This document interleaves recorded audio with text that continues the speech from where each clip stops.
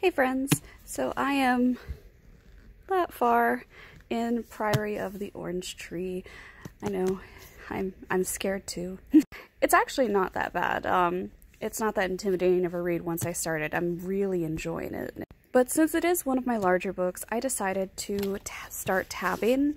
I don't normally tab, but since this is a larger book and there's a lot to digest, I decided to do some tabbing. I even found these tabs that um, seem to go really well with the cover of the book. They look really nice.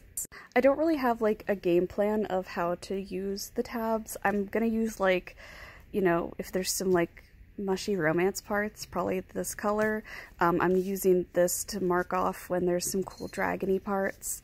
Um, I used uh, this minty color for like maps and reference material because I've been going back to the map constantly. I don't really tab a ton because I, I don't know, maybe I'm doing it wrong or maybe there's just, I don't know, there's not a right way or wrong way to do it, I guess. I don't know, I feel, I always feel like I'm doing stuff wrong. That's just me and my awesome confidence in myself.